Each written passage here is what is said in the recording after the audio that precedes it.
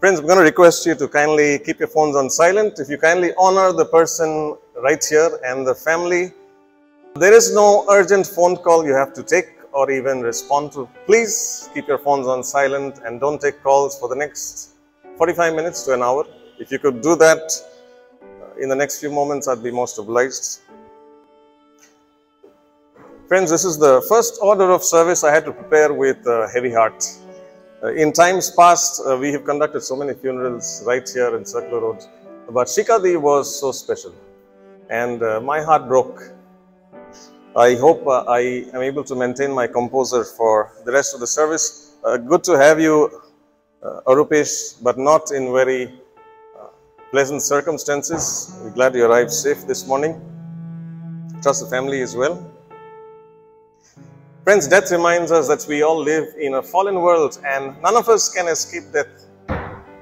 But yet, despite the hurts, we also have hope. And the hope today is given in God's word. O death, where is your sting? O grave, where is your victory? But thanks be to God who gives us a victory through our Lord Jesus Christ. I want to mention about Shikadi that she has achieved success, who's lived well, laughed often and loved much, who has enjoyed the trust of pure women, the respect of intelligent men, and the love of little children, who has filled the niche and accomplished her task, who has left the world better than she found it, whether by a perfect poem or a rescued soul, who has never lacked appreciation of the earth's beauty or failed to express it. She has always looked for the best in others and given the best she had, whose life was an inspiration, whose memory a benediction. And this reminds me of a beautiful psalm, Psalm 46, which I would also often read uh, with Shikadi when I visited her home. God is our refuge and strength, a very present help in time of trouble. Therefore, we will not fear, though the earth be removed, though the mountains be carried into the midst of the sea. Though the waters thereof roar and be troubled, though the mountains shake with the swelling thereof, there is a river. The streams whereof make glad the city of God, the holy place of the tabernacles of the Most High. God is in the midst of her. She shall not be moved. God shall help her, and that right early.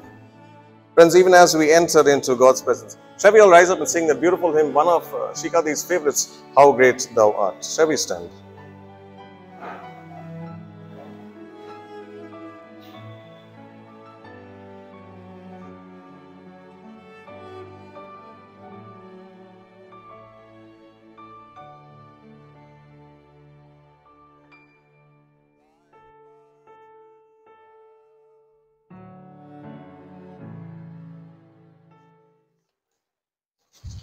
Good afternoon. What I'm going to read out is a tribute which one of her ex-student from US has sent me. He had met her when she was the headmistress in AG Purulia in 1984. And this is what he has sent me. I was a student of the Assembly of God Church School, Purulia, West Bengal, India. And it was here that I first encountered her in 1984. For the past 38 years, she has been a source of inspiration and guidance to me. A story unfolds. It is a story of a remarkable headmistress, a passionate student, and a bond that transcended time and distance. It is a story that celebrates the life and legacy of Mrs. Roy Chowdhury, a name etched in the archives of education, and me, whose life was forever changed by her presence.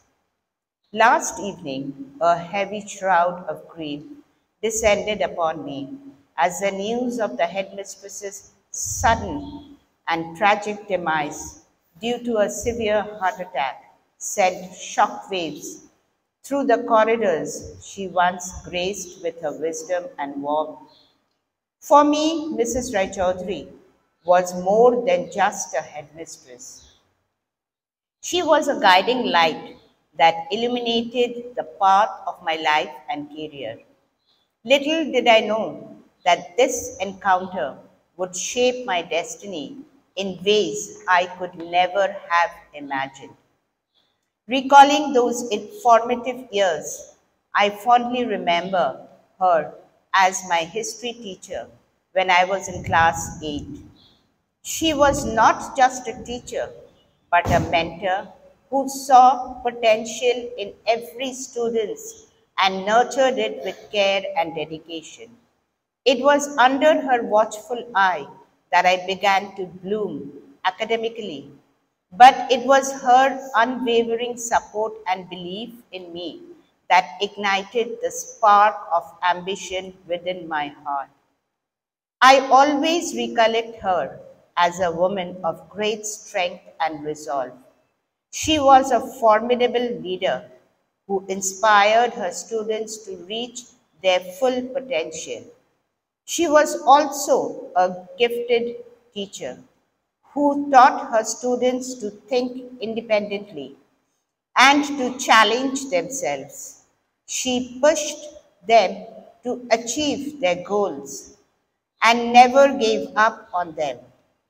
No matter how difficult the situation, she was a passionate educator who believed in the power of education and its ability to change lives. She believed in me when I doubted myself. Her words of encouragement were like fuel for my dreams. I got an opportunity to meet my beloved headmistress in Kolkata. The re- reunion was a testament to the enduring bond. I worshipped her as my mother. As I bid farewell to this lady, I am sending my wishes for her soul to stay in peaceful rest. I also extend my thoughts and prayers to her family, hoping that they find the strength to overcome this heart wrenching loss. Her passing is a great loss for the school and for all who knew her. I am deeply saddened by her passing but I will always remember her for the positive impact she had on my life. Her memory will continue to inspire. Her lessons will forever echo in the minds of her students, and her legacy will shine as a beacon of hope and guidance for generations to come. I have a poem here which is dedicated to my sister, Mrs. Shikha Chowdhury, my Chhoddi. If tears could build a stairway and memories were a lane, I would walk right up to heaven and bring you back again. No farewell words were spoken no time to say goodbye. You were gone before we knew it, and only God knows why. My heart still aches in sadness, and secret tears still flow. What it meant to lose you, no one will ever know. But now I know you want us to mourn for you no more to remember all the happy times life still has in store. Since you'll never be forgotten, I pledge to you today a hallowed place within my heart is where you'll always stay. This is a poem she sent me this year, February. And she told me, You will read this at my funeral. I said, I jokingly said, What if I go before you? She said, okay, then I'll read it for you. So it's dedicated to her. Rima was uh, my grandmother and she was one of the strongest pillars of our family and losing her one of the biggest losses the royalty the mother the would have and she be missed for a long time.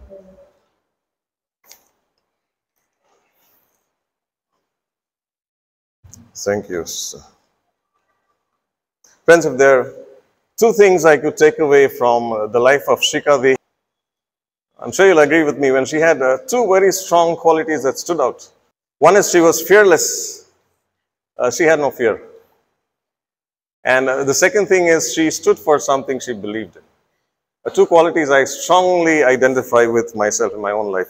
Now, the Bible tells us in uh, 1 Peter, be sober, be vigilant, because your adversary, the devil, is as a roaring lion, walking about seeking whom he may devour.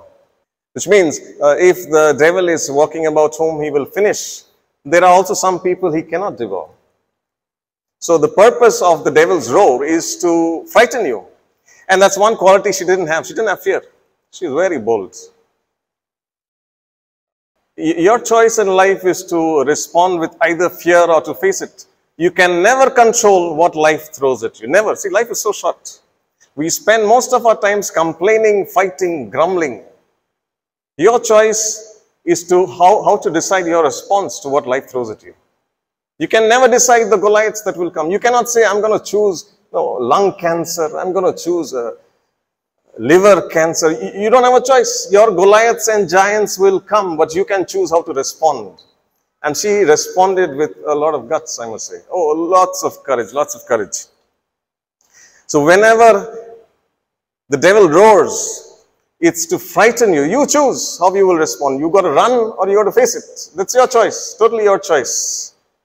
Always remember uh, who you are and whose you belong to. Of course, all of us are human and time to time we can get uh, afraid of things. Uh, there is a difference between being concerned and uh, being intimidated. In recent times, she was very disturbed and some of us were, and she kept telling me the same thing time and again, uh, son, I'm really concerned. I said, Shikadi, you have my words. I will settle this, but after you come back from the hospital, finish your surgery. I think she was in a hurry to get the answer from God, so she went to meet her maker, probably to ask why the delay. But I gave her my word and I will settle things. There is a difference between being concerned, being intimidated, a difference between being cautious and being negative. Now, 9 11 in uh, 2001, 22 years ago, what they really did was uh, they, they were not interested in bringing down brick and mortar. That wasn't the interest. The interest was to put fear. If I can bring down your power and your arrogance, I will substitute it with fear. For those of you who visit the US, observe how paranoid the Americans are. How absolutely paranoid. They very every small thing, oh, as everyone's out to finish them. I was uh, traveling in, in a certain country in Africa in a bus from the, the exit gate to the aircraft. The, a bus takes you. It's a two minute ride, right? Everybody travels by bus to the aircraft. So all, all of us from different nationalities, I'm the only brown person there. People from all over the world, you can definitely make out an American when you see them. So the Americans, ladies around Shikadi's age, and people from a specific part of the world, you can see their garments and make out. Suddenly, the bus is on the way to the flight. We're standing there, I am, I'm observing everyone. Suddenly, the bus stops. Two security get in, take out these people from that particular part of the world, gets them out, bus proceeds, silent. I saw these American women trembling with fear. I said, ma'am, relax, it's not 9-11. Everyone's not out to finish you. But if you look at our lives today, we live in so much fear. Open the news channels. All they talk about is fear. This fight there, that killing there, that murder there. All we're doing is fight. If you go to the hospital where Shikadi was these past few days, death, fear, death, fear, that's all. We're going to the graveyard now. Fear, death, memories. That's all we're surrounded with, fear. See, you have no uh, choice to decide what life throws at you. You can decide how you respond. You're going to respond with fear or you're going to respond with courage. And Shikadi had that guts to respond. That, that's why I would always stay by her side and she would tell me straight on my face. If something she didn't like, she would tell me. And I would like that because uh, senior person, son, this doesn't look good on you. I would definitely take that feedback and try to change that. That's feedback that helps you grow. Now, Job, the book of Job, every time there was a disaster, someone to remind him that something is wrong and someone put the blame on him. You're suffering because your fault. Eh, we don't always suffer because it's our fault. Psalm 23, the reading that was read to us, The Lord is my shepherd. Do you know the circumstances David was writing in? His son is out to kill him, Absalom. Son out to kill his father. And David is on the run. That's when he writes, The Lord is my shepherd, I shall not want. Wait a minute, David, you killed a bear, you killed a lion, you killed Goliath in a few seconds. You've never lost a battle. Look at his CV, his resume, a brilliant resume.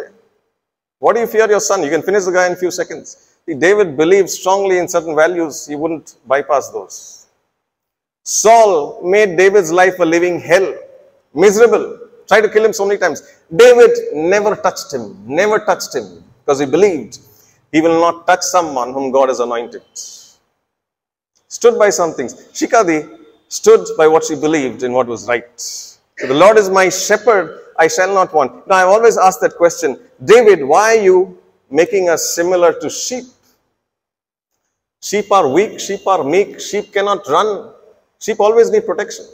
At least if you said I was a deer, I could run. Give me a gun, give me something to fight. Sheep are the weakest creatures. The Lord is my shepherd, I shall not want. Why? So when threat and fear intimidates me, I know who is my shepherd. And Shikadi knew so well who a shepherd was. During the last week, she kept telling, uh, I want this surgery to finish. I, I, I'm really not happy with this. I want to go home. She kept saying that, right, ma'am? I told her, ma'am, it's just a surgery. Come on, uh, take it. She said, no, I, she somehow had this uh, discomfort with physical pain. She had the guts to stand, uh, she can stand and face a mob. Even as I close, uh, friends, may I remind you of these words in Psalm 23. Even though I walk through the valley of the shadow of death, I will fear no evil. Doesn't matter whatever you walk through. Don't let that walk through you. Have you ever asked that question? Why we have been the generation to face the world's worst disaster, COVID? Why did God choose us to face it? No matter how dark our paths are, no matter how dark, don't let that darkness walk through you. Shikadi is in a place that is uh, safe, safe in the arms of Jesus. The first question I'm going to ask her when I meet her, why do you leave so soon? Just why? I feel totally abandoned. But her life reminds me that we work so hard trying to fit in, forgetting that we were made to stand out.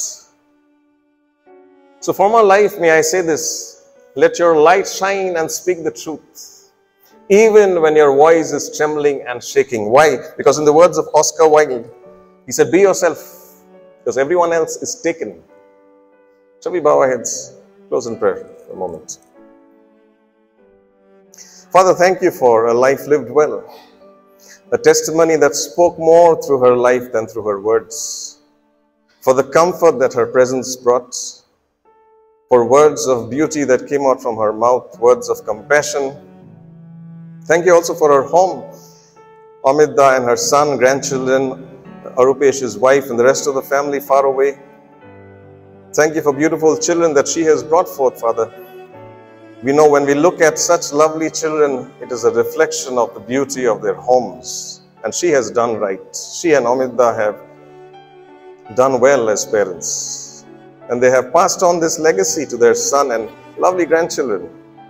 We pray that this legacy would live long and we would learn from this life that has touched ours boldness when fear stares us in the face, courage to stand for the right thing, courage to stand even when a crowd can oppose us. Thank you for these lessons we have learned from our life. Today we ask for comfort when words are not enough. And when we feel weak, when we feel we cannot take it and the cross is too heavy, remind us that your grace is sufficient for us because your strength is made perfect in weakness. We ask all this in Christ's precious name. Amen. Friends, I'm going to give you time if uh, one or two of you would like to share a word on Ashika, they feel free to come to the podium. Thank you all for coming today. I'm sure my mom's looking down and is very proud of uh, each one of you could make it. Uh, uh, it's very hard to uh, sum up someone's life in few minutes, but I'll try my best. Uh, you know, uh, that thing which comes up, uh, the nice picture of her says loving uh, grandmother, wife, uh, and uh, mo- mother. Uh, I would like to add one more word like teacher.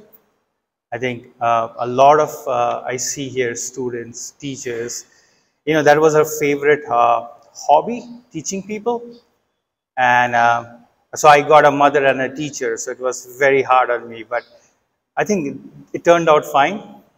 So I think I, I just want to reflect that that she was a teacher first and foremost, apart from having being a mother, wife, and grandmother. Second is like as I was uh, flying down here, you know, I came to know that she passed.